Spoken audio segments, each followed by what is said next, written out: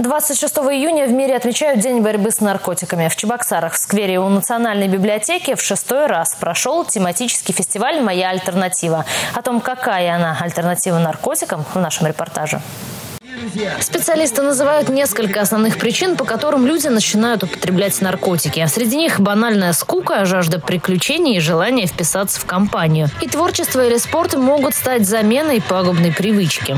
Всем известно, что люди начинают потреблять, потреблять всякую гадость, да, скажем так, от того, что им больше, больше нет альтернативы никакой. Мы сводим э, как раз площадками, федерациями, спортивными, творческими, танцевальными, чтобы они могли научить, чтобы они могли увидеть, чтобы они могли попробовать.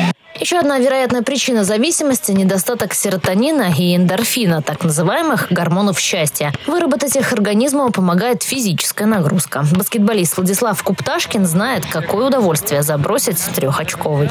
Когда человек начинает употреблять что-то, он перестает заострять внимание на тренировках и начинает э, больше уделять внимание вот этим веществам. Наркотики, они просто ведут тебя вниз, прям э, по наклонной лестнице. Альтернатива для тех, кто в силу возраста или здоровья не может кидать мяч или заниматься на тренажерах – боевое искусство айкидо. Айкидо – это образ жизни, это уверенность в себе, это здоровье. Айкидо занимаются миллионы людей. Человек, э, как бы изучая айкидо, овладевает приемами самообороны.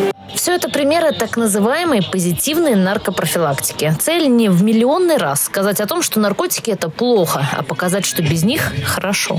Вся наша жизнь состоит из увлечений и какой-то деятельности, которая нас захватывает. Мне кажется, что спорт, искусство, творчество, профессиональная деятельность способны захватить человека, определить его жизнь. И, конечно, эта деятельность несовместима с наркотиками. Эти простые меры работают, отметила главный нарколог республики Ирина Булыгина. Ситуация, она в целом сегодня с потреблением наркотиков и распространением наркотиков, она достаточно сложная. Но я хочу отметить, что Чувашская республика по последнему рейтингу по, напряжению, по напряженности наркоситуации входит в зеленую зону. Это говорит о том, что технологии профилактической работы дают свои результаты.